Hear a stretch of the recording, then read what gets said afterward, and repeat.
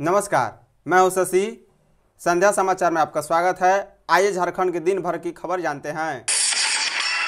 Bharat, Japan आज होंगे आमने सामने विमेंस एशियन चैंपियंस ट्रॉफी 2023 में। अब सभी टीमें सेमीफाइनल में जगह पाने के लिए एक दूसरे से ज़ोर आजमाइश कर रही है। मंगलवार को भारत का जापान से मुकाबला होना है। एक तरफ़ जहाँ भारतीय टीम तीन लगातार मैच जीतकर सेमीफाइनल में जगह बनाने के लिए पूरी तरह से तैयार है, वहीं जापान भी बेहतरीन प्रदर्शन जारी रखने के लिए भारत को हराने की पूरी कोशिश करेगा। बता दें, भारत और जापान दोनों ही टीमें में अब तक टूर्नामेंट में अपनी तीनों मैच जीत चुकी है। चैंपियनशिप में पहली बार दोनों के बीच मुकाबला होना है, जो अपने आप में बेहतरीन होगा। दोनों टीमें मंगलवार को अपने आप को सर्वश्रेष्ठ साबित करने के लिए एक दूसरे से भिड़ेंगी। मंगलवार को होने वाले दो अन्य मैच में कोरिया, थाईलैंड के साथ भिड़ेगा। वहीं मलेशिया भी भिड़ंत चीन के साथ होगी। भारत का मैच रात आठ बजकर तीस मिनट से शुरू होगा। झारखंड में भूकंप के झटके, मौसम केंद्र ने दी जानकारी। आज सुबह झारखंड में भूकंप के हल्के झटके महसूस किए गए हैं। भूकंप का केंद्र राज्य की उप राजधानी दुमका से 24 किलोमीटर दूर, उत्तर पूर्व का इलाका रहा। यह ज़मीन से पाँच किलोमीटर की गहराई पर था। रांची मौसम विज्ञान केंद्र के प्रभारी अभिषेक आनंद ने बताया है कि भूकंप के झटके सुबह तीन बजकर बाईस मिनट पर महसूस किए गए। जिसकी तीव्रता 3.7 थी। उन्होंने कहा है कि भूकंप के झटके काफ़ी हल्के थे। किसी भी तरह के जान माल के नुकसान होने की आशंका उन्होंने नहीं जताई है।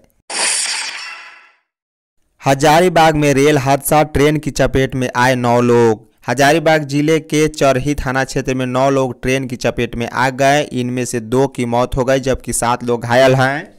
घटना रेलवे तेईस नंबर दलदलिया गाँव के पास की है।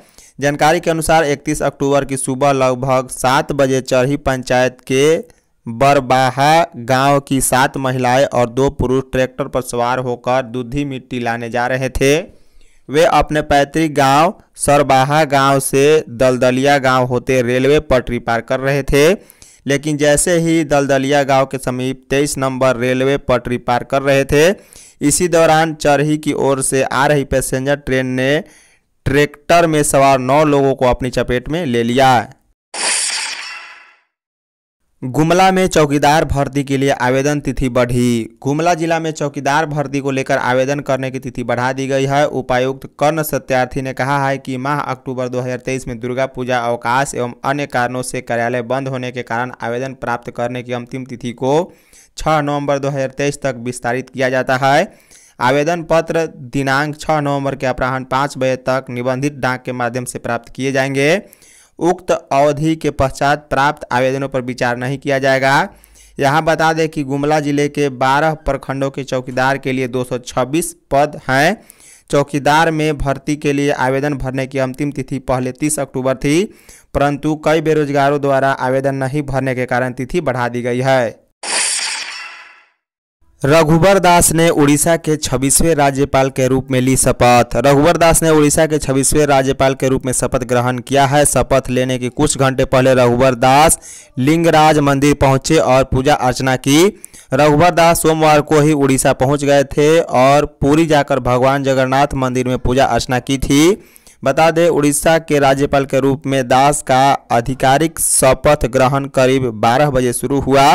झारखंड से उनके समर्थक और परिवार के सदस्य राजभवन पहुँचे थे। राजभवन में ही रघुवर दास को शपथ दिलाई गई।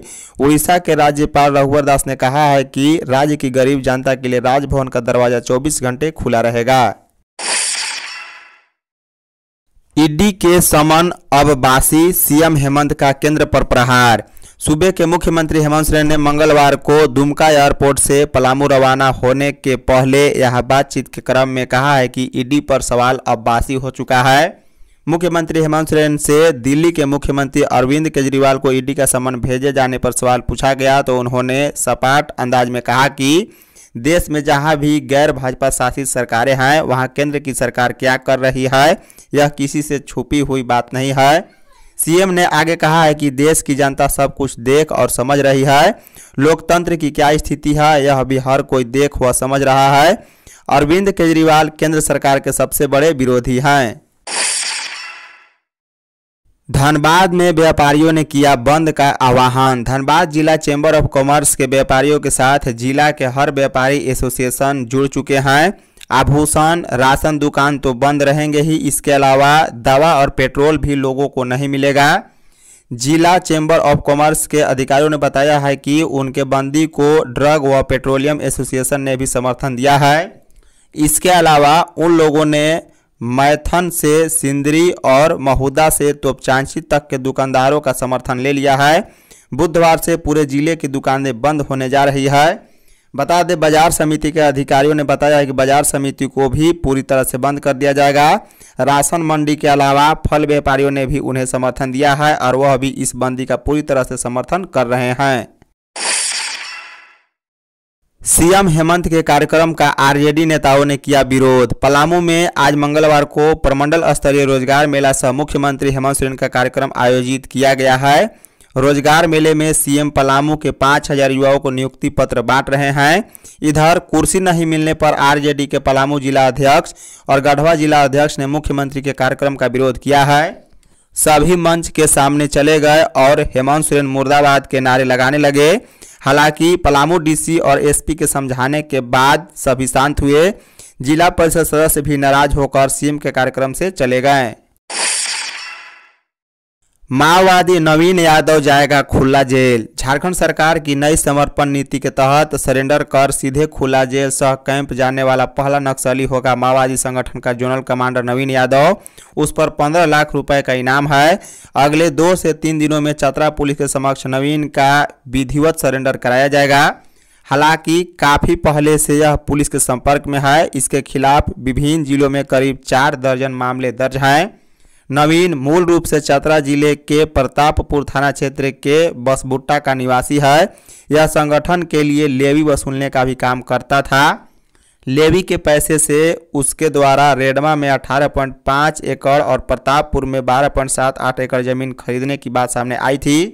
बता दें कि नए नक्सल सरेंडर पॉलिसी के तहत सिर्फ़ पुलिस मुख्यालय की अनुशंसा के बाद जेल आईजी के अनुमोदन से नक्सली हजारीबाग स्थित खुला जेल सह पुनर्वास कैंप भेजे जाएँगे। सैप में तीन सौ अड़सठ पदों पर नियुक्ति, पुलिस मुख्यालय ने निकाला विज्ञापन। सैप में तीन सौ अड़सठ पदों पर नियुक्ति होगी, सैप के टाटी सिलवे और हलुबदनी वाहिनी में संविदा के आधार पर भूतपूर्व सैनिकों की सैप में नियुक्ति की जाएगी। इसको लेकर झारखंड पुलिस मुख्यालय ने विज्ञापन जारी किया है। जारी विज्ञापन में कहा गया है कि नियुक्ति के लिए 23 और 24 नवंबर को जैप एक डोरंडा में इंटरव्यू होगा। इंटरव्यू और मेडिकल जाँच में योग्य पाए जाने पर योगदान के लिए नियुक्ति पत्र दी जाएगी। जो उम्मीदवार ज्वाइनिंग के लिए आएँगे, वो अपने साथ बिस्तर, दो माह के भोजन, की राशि और कपड़ा लेकर आएँगे। झारखंड सरकार विधि व्यवस्था बनाए रखने, नक्सल विरोधी अभियान चलाने और अन्य सुरक्षा संबंधी दायित्व के लिए पर्याप्त सशस्त्र बल उपलब्ध कराने के उद्देश्य से भूतपूर्व सैनिक की सेवा अनुबंध पर प्राप्त कर सैफ के दो वाहिनी का गठन करता है। मुड़मा यात्रा मेला का आज समापन। झारखंड के सबसे बड़े ऐतिहासिक आदिवासी मुड़मा यात्रा मेला की शुरुआत हो चुकी है। इस दो दिवसीय मेला की शुरुआत सोमवार को हुई। रांची से लगभग 35 किलोमीटर दूर मांडर के मुड़मा में इस मेला का आयोजन होता है। मेला को लेकर प्रशासन ने पुख्ता इंतज़ाम किए हैं। बता दें कि ऐतिहासिक मुड़मा जत्रा मेला का आयोजन दशहरा के दसवें दिन होता है। इस बार 30-31 अक्टूबर को यह मेला आयोजित हो रहा है। इसमें झारखंड के अलावा छत्तीसगढ़, उड़ीसा, बंगाल समेत नेपाल से भी लोग आते हैं। पूजा सिंघल की जमानत पर 1 दिसंबर को सुनवाई। मनरेगा घोटाला और मनी लॉन्ड्रिंग मामले में निलंबित आईएएस पूजा सिंघल की मुश्किलें बरकरार है। उन्हें जमानत के लिए अभी और इंतज़ार करना होगा। आज पूजा सिंघल की जमानत याचिका पर सुप्रीम कोर्ट के न्यायाधीश एस के कौल और न्यायाधीश एस धुलिया की अदालत में सुनवाई हुई। पूजा सिंघल की ओर से सुप्रीम कोर्ट के वरिष्ठ अधिवक्ता सिद्धार्थ लूथरा ने जमानत देने का आग्रह किया। इस पर ईडी की ओर से एसएसजी एस वी राजू ने आपत्ति जताई।